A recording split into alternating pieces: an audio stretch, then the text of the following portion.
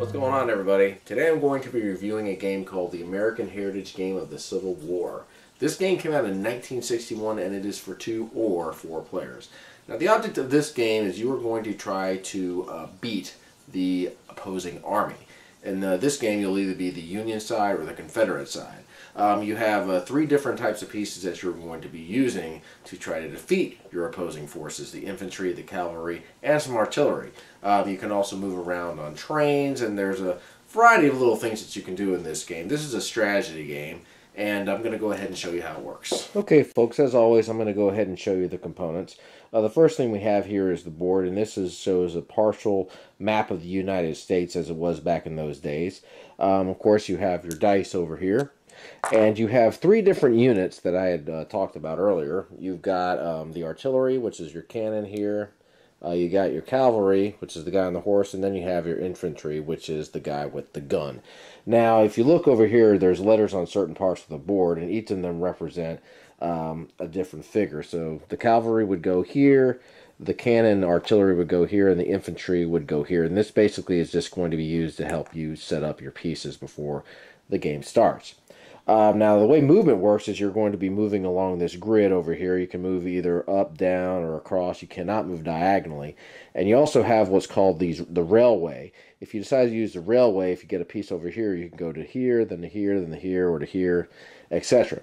You also have some spaces on here that have mountains on them, and it's these spaces. If you end up landing on a mountain, that is going to end your turn, and you won't be able to move any further. You will be able to move off the mountain on your next turn. Here is how movement works. Each of these pieces uh, has a, uh, well, I guess you call it a move strength. And depending on what you roll on the die, you'll be able to move that many spaces.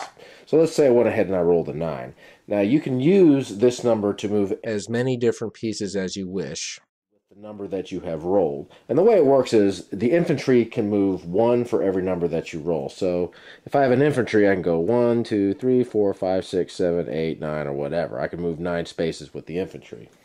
In the case of the cavalry and the artillery, they can move two spaces per number that you roll. So, in other words, since I rolled a 9, if I wanted to move just the cavalry or the artillery, I would be able to move up to 18 spaces with them. So I could move this guy, like this would count as 1, this would then count as 2, and then I can move another artillery guy, or I'm sorry, a cavalry guy, this would be 3 and 4. Basically, you're just moving two spaces for every number that you roll on the die. And the same goes with the artillery. And of course, you can do the same with the Union side too. Speaking of which, this is the Union side, this is the Confederacy side. So let's just go ahead and uh, let's do a different basic movement over here. So let's say I went ahead and rolled a 9. And I went ahead and I decided to move this guy 2. And that takes up two of the moves. And this will go 3, then 4, then 5. And let's say I wanted to move one of the cannons. I could go 6, then 7, then 8, and then 9. And I would I could just stop on the mountain. And that would basically end my turn. So that's basically the way movement works. Now, if you decide to move on the rapid rails over here, each one of those is going to count as one move, no matter what the piece is. So if you had a infantry guy, you could go one, then two, then three, and that would count as three. And the same would be true with the artillery. This would be one, then this would be two, then this would be three. Um, and of course, the same would go with the cavalry. Now, if an opposing piece happens to be on a spot on the rapid railway, you will not be able to move there. To get off the rapid railway, you would simply just move your piece to the dot and then move to any adjacent square next to it. Battling works is that you're going to be uh, putting pieces together in a single file line like so in order to do the battles and you'll be kind of like this. Now the battle points that each uh, piece has is different from the movement pieces. The infantry has a power of 2, cavalry will have a power of 1, and the artillery, which is this, is going to have a power of 2. And these all work a little bit differently. So basically what's going to happen is you're going to be lining these guys all up, and once you have like a formation like so, whichever side has the most points is going to win the battle and take the pieces. Um, now, another thing to make note of is when you roll the dice and you make your move, the last, if you wish to do a battle, the last move has to be in this formation before the battle can take place. So you have to basically resolve all your movements first and then try to resolve your battle movement over here to get your soldier in. Let's just say I went ahead and I rolled a nine and I had my pieces. So I go one, two, three, four, five. And let's say I had a piece over here. I could go six, seven, eight, nine. Okay, so now I have my formation ready, and if you count up the points, these this side has six points because I got three cavalry. This side has five points. So what's going to happen is this guy is going to jump. The guy in the back is going to jump over, and then these three pieces are going to be uh, eliminated. Now, if you decide to use a cavalry or cavalry in your attack, um, you're going to have to have a horse in the front uh, before you can attack with cavalry. Now, you can have more horses or more cavalry in the lineup, uh, but you have to have at least one in the front.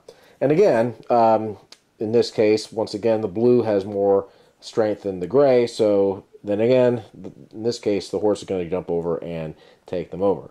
Now, in the case of the cannon, the cannon can only be placed in the back. Uh, now, the unique power of the cannon is that um, the cannon will just simply fire and kill all these guys off, and it will not jump.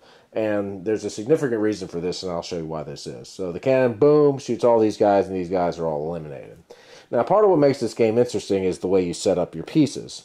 So let's, for example, say I had a setup of a soldier here and a soldier here.